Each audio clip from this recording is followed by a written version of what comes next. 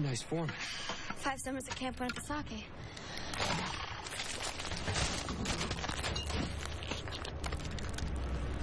Show yourself!